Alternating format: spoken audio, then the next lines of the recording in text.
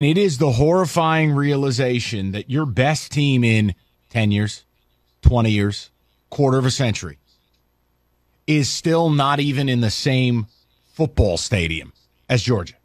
This is the terrifying reality of college football. Georgia showed you what elite is. There's a difference between being Big Ten good and being good.